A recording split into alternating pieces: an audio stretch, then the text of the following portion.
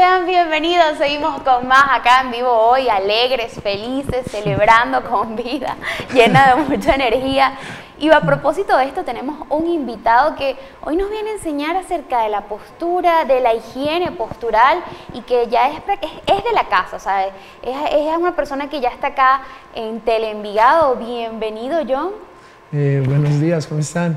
Eh, a los televidentes, eh, a Julio, a Gabriel.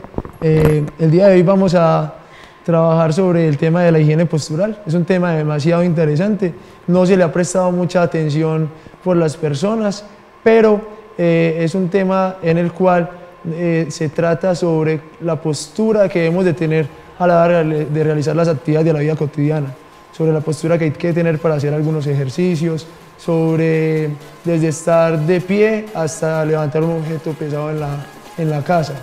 Eh, este tema es muy interesante porque nos puede ayudar a prevenir muchas lesiones, nos puede ayudar a prevenir también muchos desequilibrios musculares que pueden afectar nuestra salud a largo plazo. A mí una pregunta que me sigue rondando, este, me llama la atención higiene postural. Uno pues si maneja lo que es el higiene, pero postural, ¿cómo se come eso, John? ¿Cómo se come? la higiene postural, como les venía diciendo, es usted la forma adecuada de cómo eh, pararse, cómo sentarse, cómo estar en la vida cotidiana. Un ejemplo muy claro que uno puede observar es que llega la persona y, todo, y se sienta así, de esta forma. Yo soy uno. De, esta forma, eso. No, y son muchas personas y desde el colegio lo hacen. Entonces es un tema que hay que empezar a educar desde el colegio hasta que seamos adultos, para que la persona no empiece a tener problemas en su columna, no, no empiece a tener acortamientos musculares, que eso a largo plazo, aparte de que es muy incómodo, es algo que te va a traer, te puede traer beneficios, no te puede traer, te puede traer algunas consecuencias, consecuencias a futuro, para tu salud, que no van a ser como muy buenas que digamos. Cuando hablas de higiene postural, de pronto se ven involucrados eh, los objetos en los que nos sentamos, dormimos. Cuéntame sobre esto. Eh, los objetos en los que nos sentamos por ejemplo, una silla en la que uno se debiera de sentar pues adecuadamente sería una silla en la que puedas descargar tus brazos, que la silla te llegue hasta la zona cervical, que tocando la cabeza, que tú puedas tener hasta un descansapiés. Es, eh, y también algo también importante en cuanto a objetos, la mayoría de personas y a veces mucho las mujeres tienden a colgarse el bolso en un solo lado. Entonces eso que va a ir produciendo, va a ir produciendo que estos músculos, los trapecios, vayan ganando mucha fuerza, entonces se va generando un desequilibrio. Y cuando ya vas más adelante, vas a mirar, ay, esta persona tiene una escoliosis, o sea, que tiene una curvatura en la columna. Y usted la ve y cuando está parada, se ve como así, de lado y uno ve, esta mujer porque está así. Y en realidad es por... Entonces, ¿cuál es la invitación? No usar carteras, mujeres, digámosles no a la cartera. Eso, no, la, invitación es intentar usar eh, carteras o bolsos que tengan doble cargadera para que así se distribuya bien el peso sobre la columna y no vayan a ocurrir estas situaciones. Hay, ciertas normas, perdón Julio, pasos a seguir eh, para evitar esto.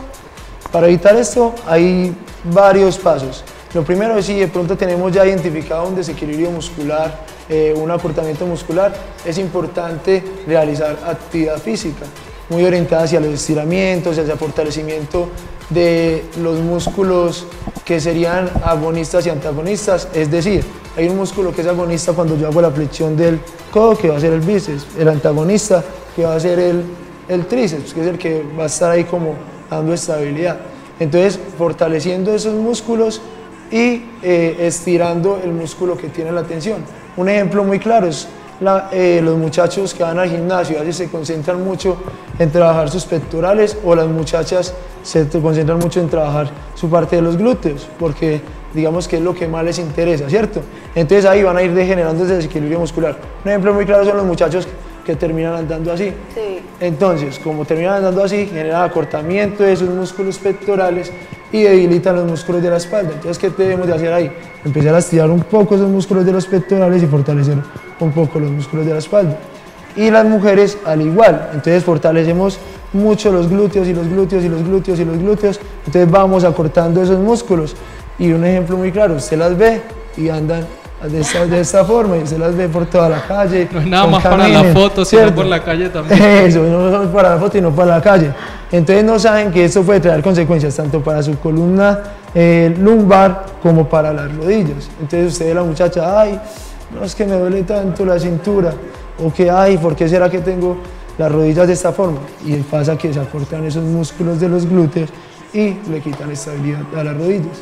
A ver, si usted que nos está, vi- nos está viendo en este momento a través de la señal de Teleenvigado en el Magazine Vivo Hoy quiere realizar algún tipo de pregunta, tiene algún tipo de inquietud, puede comunicarse a través del 331-4409 y allí puede hacerle una pregunta a John Jairo Ríos, quien también es ahora de la casa, tendrá su programa sábados y domingos, ya él nos hablará un poquito más adelante sobre esto, pero hay una duda que tengo, uno llega a veces al gimnasio y ve personas que no pueden con un peso, entonces tienen que adoptar una postura que no es la correcta para poder cargarlo. ¿Qué pasa con este tipo de personas? Con este eh, es importante con este tipo de personas que haya un entrenador, que haya un profesional al lado de ellos. ¿Para qué?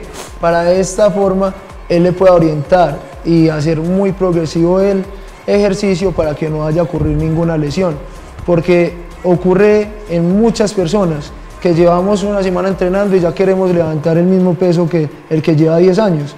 Entonces es muy importante tener en cuenta que en los gimnasios y en los centros de acondicionamiento físico hay que tener profesionales que puedan orientar a la persona y identifiquen los problemas posturales que puedan tener algunos. Por eso es importante también realizar algunas valoraciones de postura antes de empezar a entrenar, para que no vamos de pronto a lesionar eh, algún músculo, como hablábamos ahorita, tenemos un músculo acortado, lo vamos a poner hacer más fuerza, más fuerza, más fuerza, lo vamos a seguir acortando. Entonces, ahí, de ahí la importancia de entrenar con profesionales.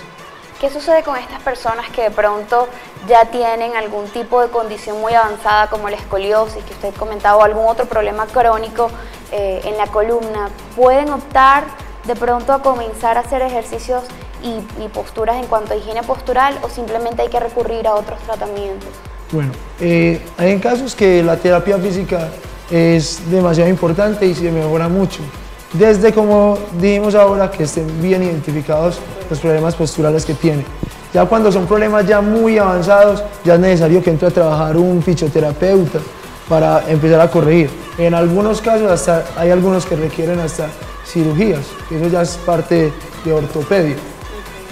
Yo, hay personas como yo que quizás no solemos ir al gimnasio, no nos gusta el gimnasio, sino entrenar más por cuenta propia. Ejercicios funcionales o barras paralelas. ¿Cómo debe hacer uno para cuidar la postura en este tipo de ejercicios? Bueno, algo importante es tener conciencia de lo que se está haciendo, ¿cierto? Entonces, tener conciencia y además de tener conciencia, tener conocimiento de los movimientos que se realizan. Entonces, mucha gente peca porque voy a hacer un movimiento y lo hago mal hecho y al otro día son con la, ay, profe, es que me lesioné el hombro haciendo barritas y sucede que haciendo preparamos los músculos para hacer la actividad o así estamos haciendo un rango de movimiento que no va a ser el adecuado para alguna articulación. ¿Qué sucede si de pronto estas chicas que trabajan en oficinas, secretarias, recepcionistas, que de pronto tienen que estar todo el día con el mouse, la computadora? A mí me ha sucedido, no tengo la oportunidad de trabajar en esa área, pero a veces paso todo el día pegada a la computadora con el mouse y de pronto siento que, hey, ¿y este dolor? ¿Qué podemos hacer? ¿Hay alguna forma correcta o...? Eso, eso está muy bien. Eh, en cuanto a estas personas que trabajamos casi que, que trabajan a diario sentados en la oficina, en el computador, eh, es importante lo que llamamos las pausas activas, hacer sus periodos de descanso. Entonces, por decir, yo estoy en, en la oficina y determinado, cada determinado tiempo para eh, aliviar un poquitico esa tensión muscular que se va acumulando por la postura estática que tenemos, que no estamos diseñados para hacer, eh, para estar quietos todo el tiempo. Entonces me paro, hago un poquito de estiramiento, estiro un cuello, re- relajo, porque el estiramiento relaja los músculos. Entonces estiro un lado, estiro al otro, me paro, eh, hago un estiramiento, por decir, acá para estirando un poco los isquiotibiales, los músculos de la zona lumbar y, ahí de esta forma vamos aliviando tensión y también vamos previniendo mucho esos problemas de postura. Sino que a veces, a veces mucha gente le les da pereza o no están bien orientados en cuanto a eso.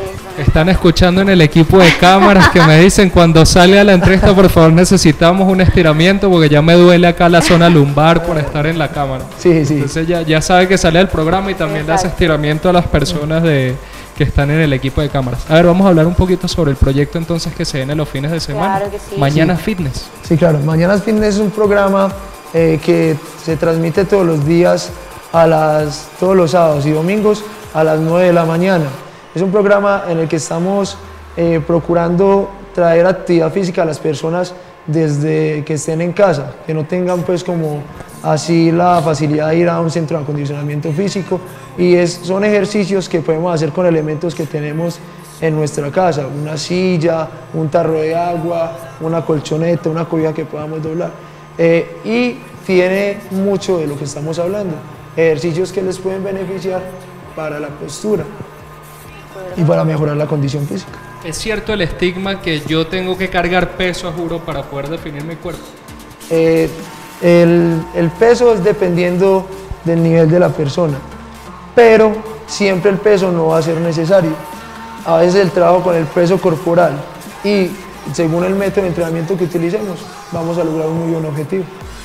¿Por qué te hago esta pregunta? Porque bueno, hay gente que dice, ah, yo entreno en mi casa, pues si yo no tengo una mancuerna de 50 libras, entonces yo no voy a crecer O no, o no estoy haciendo nada. o no estoy haciendo Eh, nada. Eso es muy cierto, pero sí. Eh, desde que tú hagas un ejercicio, un entrenamiento eh, que sea intenso, dependiendo de tu capacidad y haciendo variantes de ejercicios, porque de todas maneras cuando llevas cierto tiempo realizando un ejercicio, uno dice, ah, no, ya no siento nada. Entonces ahí es donde hay que buscar la variante para poder hacer como progresar, como sobrepasar ese pico que ya tenemos. La parte del ejercicio es importante, pero en el programa también vamos a tener consejos en cuanto a alimentación, porque recordemos que cuando estamos entrenando tenemos que llevar cierto tipo de alimentación que vaya acorde al entrenamiento que tenemos, ¿cierto? Claro que sí. En el programa tenemos eh, tips de alimentación, tips para la hidratación, tenemos tips para la postura, que es el tema que estamos hablando el día de hoy, y, y consejitos pues que nos van a ayudar a mejorar día a día nuestra condición física. Bueno, invito a usted mismo a la Claro que audiencia sí. que lo vean sábados y Redes domingos. sociales, por favor. Muy bien, todos quedan cordialmente invitados al programa Mañanas Fitness los sábados y domingos a las 9 de la mañana. Me pueden encontrar como John Ríos, entrenador, en Facebook e Instagram eh, y en el gimnasio Infit Gym en San Antonio Pla. Entonces ya todo el mundo sabe que tanto sábados como domingos, bien deportivitos en la casa, sintonizamos Teleenvigado, hacemos nuestro buen trabajo para que usted diga al, al mesecito, porque yo sé que desde los meses vamos a ver resultados. Claro que sí. Mira cómo estoy gracias a John y mañana fitness. Claro que sí. Claro que sí. Bueno, nosotros vamos a un corte comercial y nos quedamos con John acá haciendo ejercicio, practicando unas posturas, a ver cómo tenemos que hacer. Pero por favor, por favor, no canalee. John, cuéntanos cómo tenemos que hacer. ¿Cómo A ver. tenemos que hacer? Vamos a pararnos a ver y empecemos a estirar un poquitico, ¿ya? Arriba, para que liberemos un poquito de tensión. Eso es. Muy bien. Bueno, ahí está. yo sigo aquí en tacones para li- librar tensión. Usted no se aparte, no canalee y ya volvemos con más. Listo, muchísimas gracias. Muy bien.